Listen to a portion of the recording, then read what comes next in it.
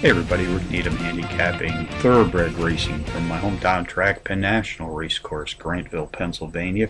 It's Friday, August the 5th, and this is my day at track.com race of the day. Let's take a look at the featured race 3 this evening, folks, uh, 6.49 p.m. Eastern Post Time. This is the Russian Rhythm Stakes, 5 furlong sprint on the turf, fillies and mares 3 years old and up, racing for $75,000 contenders number seven, Noble Maz, number five, Looky Here, number nine, Look at Me Dance, and number two, 12 Pack Shelley.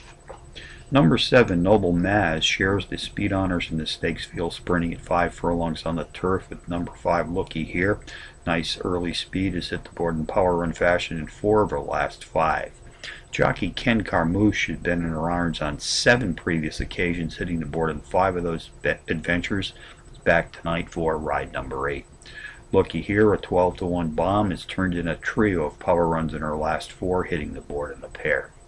Race 3 summary, number 7, Noble Maz, tops my contenders list, which also includes number 5, Looky Here, Number 9, Look at Me Dance, and number 2, 12 Pack Shelley, 7592 and the third from Penn National, the $75,000 Russian Rhythm Stakes.